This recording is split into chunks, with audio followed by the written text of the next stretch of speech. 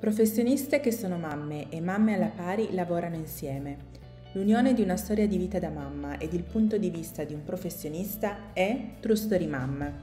In questo video vi vogliamo parlare di diabete gestazionale, che cos'è e come controllarlo.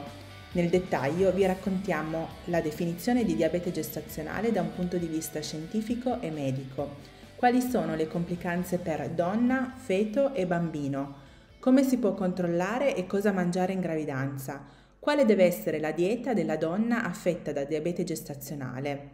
Non basta privarsi, occorre scegliere i giusti alimenti per assicurare il giusto fabbisogno alla donna e al feto.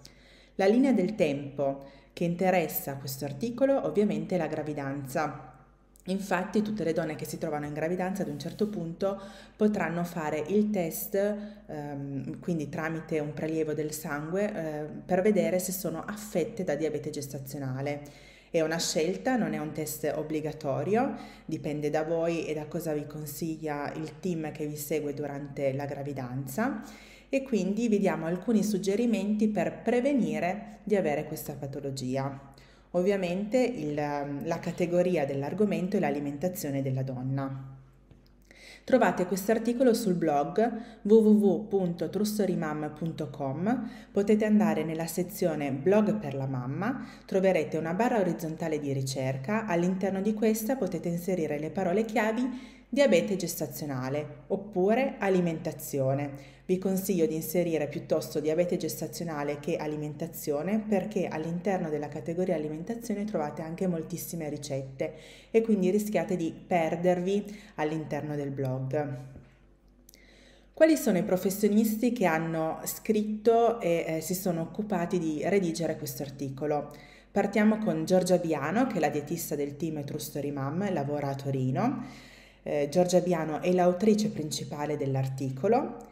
Alla fine l'articolo è stato rivisto da tutti i professionisti del team e in particolare commentato da Paola Sistro, personal trainer del team, Martina Luparia, pediatra, sempre del team di True Story Mom, poi abbiamo Martina Pellegrino, la ginecologa, e infine avremo la testimonianza della mom to mom, quindi l'esperienza della mamma in relazione a questo tema. Vi racconterò brevissimamente la mia esperienza.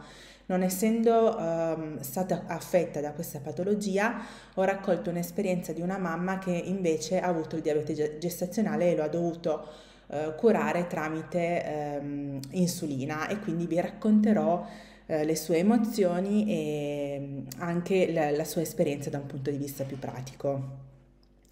Alla fine del video, se avrete domande specifiche eh, relative a questo tema, potrete contattare i professionisti che si sono occupati del contenuto tramite il form di contatto nella pagina della professionista nel sito. Quindi andate di nuovo sul sito www.trustorimam.com, nella sezione professionista troverete l'elenco di tutti i professionisti, tra cui quelli che vi ho citato eh, e che hanno scritto l'articolo. Se andate nella loro pagina potete fare eh, direttamente una, una, richiesta di eh, inviare un'email, una frase, un contenuto, una domanda, un dubbio, eccetera.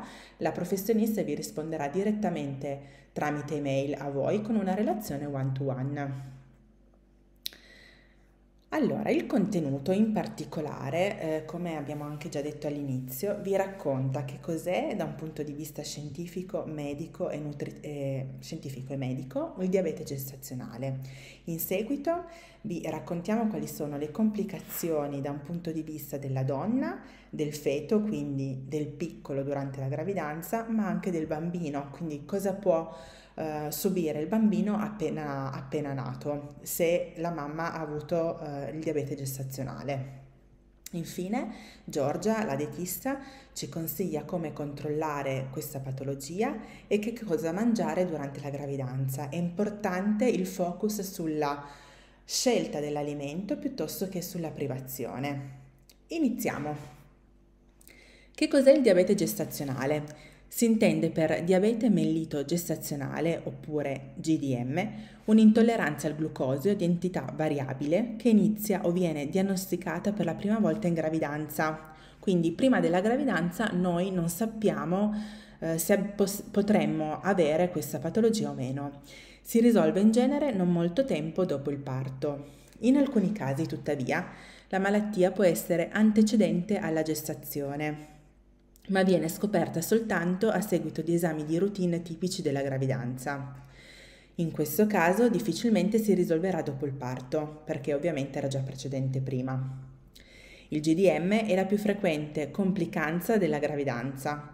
Si presenta in una percentuale che va dal 2 al 14% a seconda degli studi. Quali sono le complicanze per donna, feto e neonato? Il GDM, se non riconosciuto e trattato, può associarsi ad un elevato rischio di malattia della madre, del feto e del neonato. Se il diabete gestazionale non viene controllato, c'è il rischio di un'aumentata frequenza di, complica- di complicazioni della gravidanza e del parto, come preeclampsia, distocia di spalla e può provocare una crescita superiore al normale nel feto, detta macrosomia fetale. Inoltre predispone il bimbo a sviluppare diabete, sovrappeso ed obesità. Quindi abbiamo la complicazione in gravidanza perché c'è il, rischio di preeclampsia e distocia di spalla, poi per il feto di una crescita superiore al normale dello stesso feto e per il bambino eh, c'è il rischio di sviluppare post nascita diabete, sovrappeso oppure obesità. La diagnosi di diabete gestazionale è associata a un potenziale incremento negli interventi di monitoraggio assistenziali in gravidanza e durante il parto. Le donne con diabete gestazionale hanno un rischio aumentato di sviluppare un diabete tipo 2, in particolare nei primi 5 anni dopo il parto. Quindi qui un altro rischio per la donna. A valle del diabete gestazionale, quindi del diabete in gravidanza, potrebbe eh, presentarsi anche negli anni successivi al parto un rischio di diabete. Come si controlla?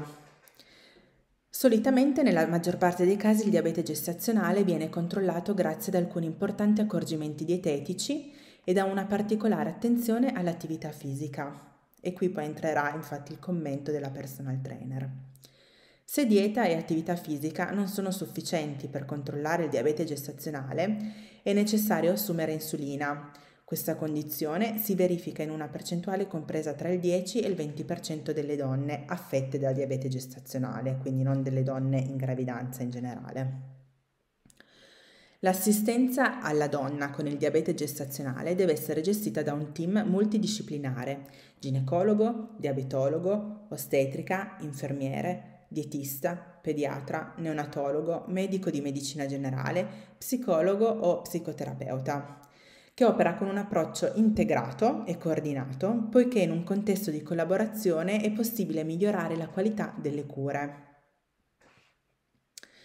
Quindi il succo è che se vogliamo controllarlo, prima eh, quindi di sapere di averlo o meno, possiamo fare attenzione all'alimentazione e comunque questo rientra nei principi base di benessere in una donna o in un individuo in generale e praticare attività fisica adeguata. Quindi sono, diciamo, i concetti base appunto di eh, salute e benessere. Che cosa ci consiglia Giorgia di mangiare durante eh, la gravidanza se siamo affette eh, a diabete gestazionale? Innanzitutto è doveroso sottolineare che l'intervento dietetico dovrà essere personalizzato in base alle esigenze nutrizionali, al BMI pregravidico e alle preferenze della donna. Quindi eh, ci consiglia comunque di ehm, rivolgersi a, una, a, un dietista o comunque a, una, a uno specialista nel settore per avere una dieta personalizzata. Per prima cosa la dieta deve prevedere un apporto calorico adeguato alle esigenze nutrizionali della futura mamma, ma anche studiato per controllare l'aumento di peso durante la, gest- la gestazione. Quindi qui c'è un po' il concetto di privazione versus scelta degli alimenti. Non basta privarsi, ma dobbiamo sapere cosa scegliere eh, per mangiare. Seppure sia presente un'alterazione dei livelli glicemici, non è pensabile eliminare totalmente intere categorie di cibo, di cibo, perché altrimenti la dieta sarebbe fortemente sbilanciata. Ecco qua, primo concetto di privazione sbagliato. Anche in caso di obesità grave, l'utilizzo di diete drasticamente ipocaloriche è controindicato.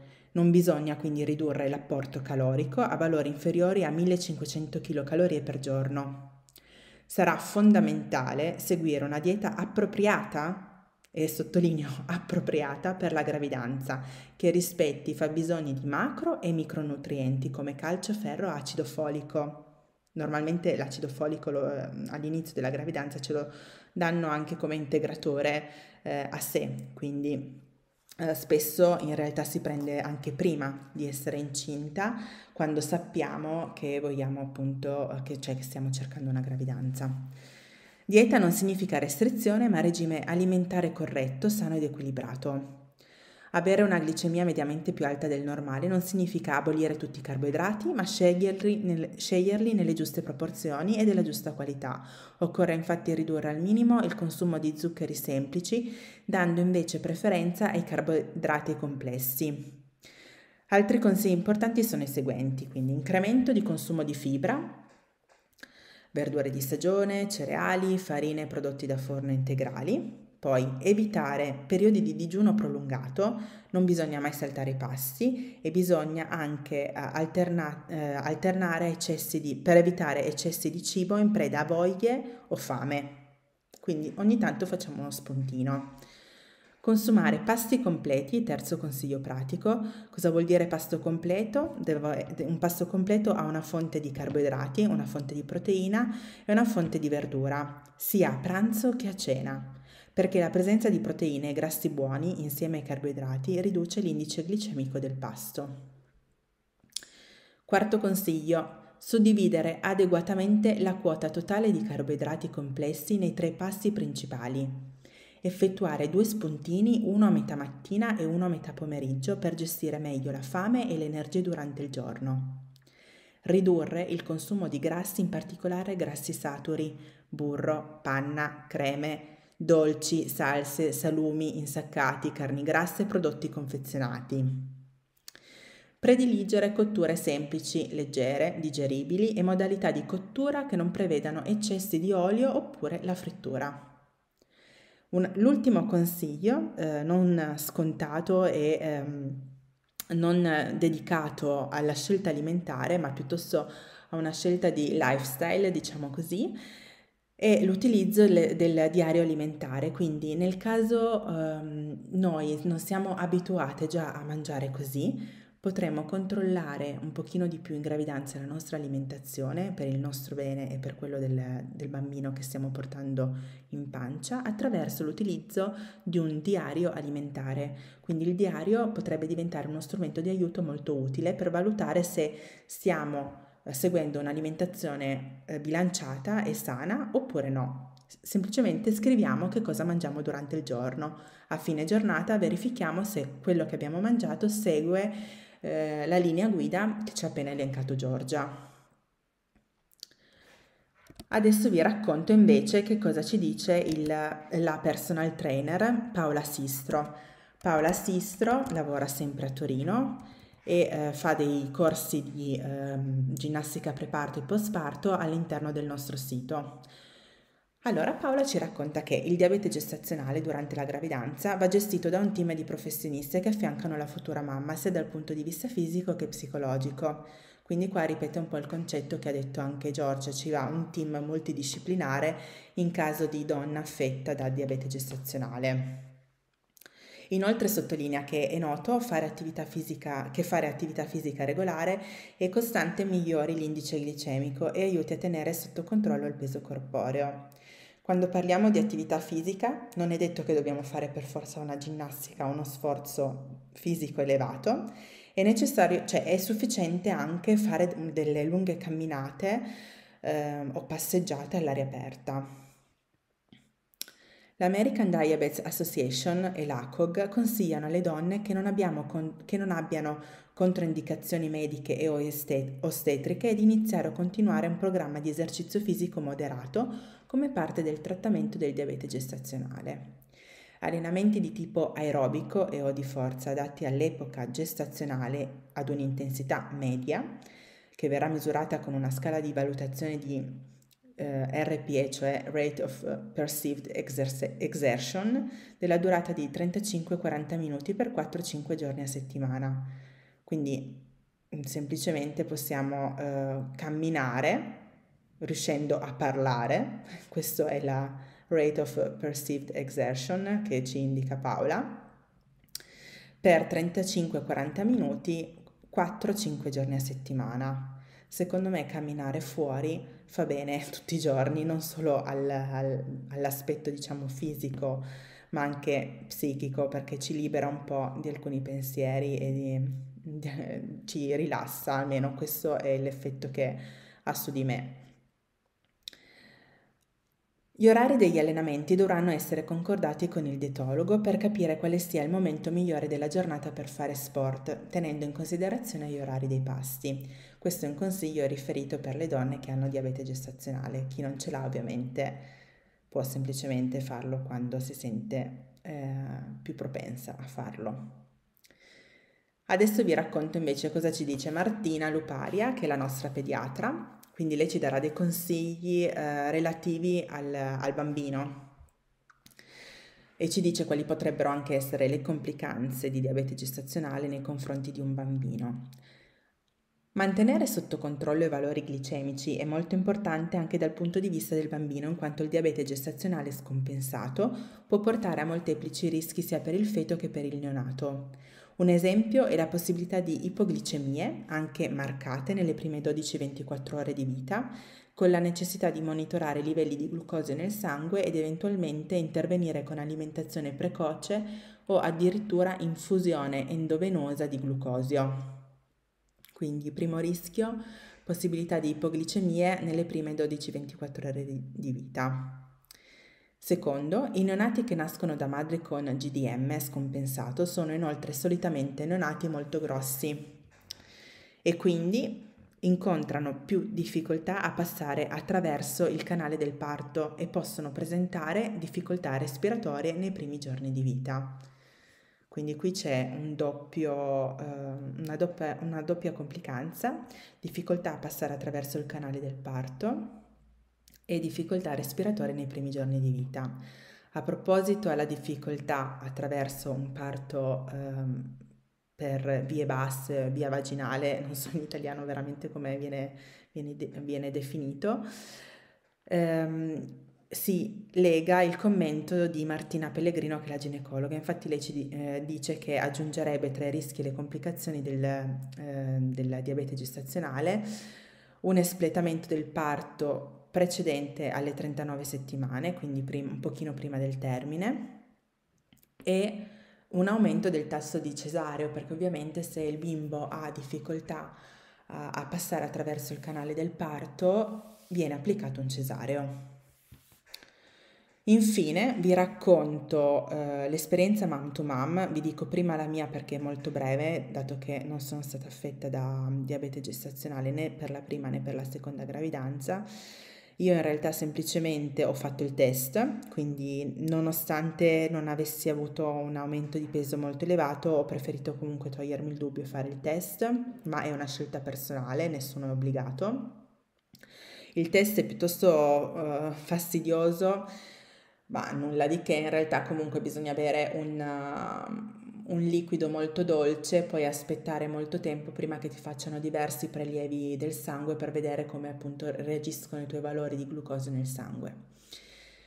Eh, detto ciò, eh, io in generale ho un'alimentazione sana e pratico attività fisica tutti i giorni moderata, eh, però insomma questa è appunto è la mia, è la mia esperienza mentre abbiamo la testimonianza di una mamma che ha, è stata affetta da diabete gestazionale sia nella prima che nella seconda gravidanza, ha avuto due, due gravidanze con uh, diabete e ci dice che durante la prima gravidanza appunto le è stato diagnosticato questo diabete e lei non aveva assolutamente idea di che cosa volesse dire, quindi è stata presa in carico dal centro diabetico del suo ospedale e ha iniziato quindi le, tutte le routine, le visite settimanali e una dieta per tenere bassa la glicemia e, e questa mm, rilevazione di glicemia veniva fatta eh, tre volte al giorno, quindi tantissimo.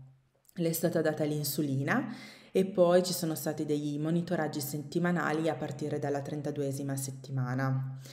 Aveva una pancia molto grande, un bimbo molto grande e in più era anche toxo negativa, quindi ovviamente eh, non si è mai potuta permettere il concetto del mangi per due, che in realtà è un concetto non propriamente indicato in gravidanza e su questo c'è un articolo sempre da parte di Giorgia.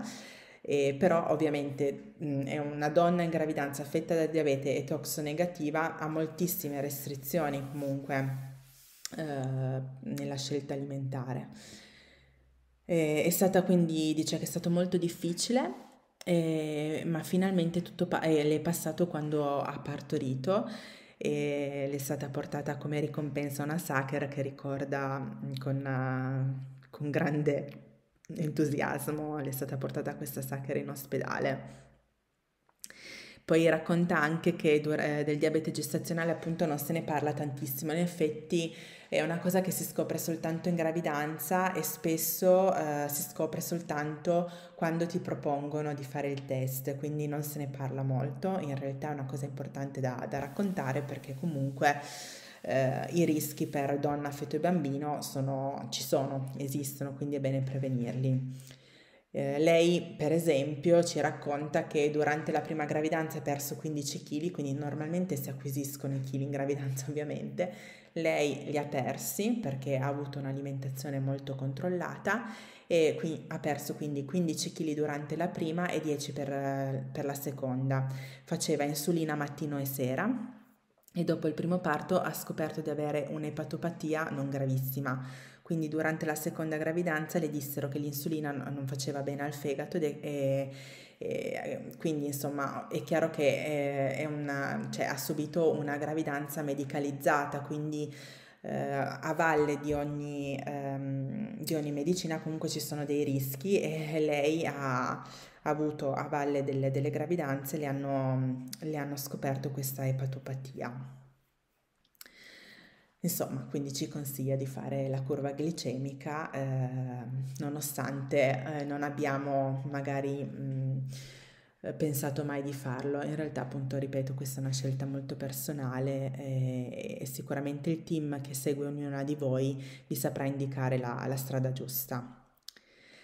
Eh, ci sono altri articoli sul sito relativi all'alimentazione della donna, eh, ve li elenco ehm, molto velocemente. Principi base per una sana alimentazione di una donna, alimentazione ed infertilità, in quanto l'alimentazione e l'infertilità sono eh, in situazioni eh, di normalità, ehm, sono dei concetti molto correlati poi c'è un articolo dedicato ai cibi pericolosi in gravidanza, eccetera, eccetera. Quindi si vanno a vedere uh, tutte le malattie che si possono prendere dal, dai cibi durante la gravidanza, quando fare attenzione, come fare attenzione, eccetera, eccetera. Vi consiglio, se voi inserite eh, oppure andate nella pagina della dietista, eh, andate a vedere gli articoli che ha scritto al fondo della pagina, troverete tutti quelli che vi ho elencato adesso. Ragazze, se vi è piaciuto il contenuto vi, vi invito a iscrivervi al canale eh, e inoltre vi informo che abbiamo anche una newsletter dove vi, eh, se vi iscrivete vi viene, viene utilizzata per inviarvi materiale inedito e gratuito circa una volta al mese. Vi ricordo che tutti gli articoli sono scritti dalle nostre professioniste, quindi non da mamme, ma da mh, donne che hanno studiato questo, sono revisionati da tutto il team, sono quindi super validati. L'informazione che vi diamo è del tutto gratuita perché il nostro valore base è creare sicurezza nella donna e nella mamma. Per questo video è tutto, ci sentiamo alla prossima. Buona giornata!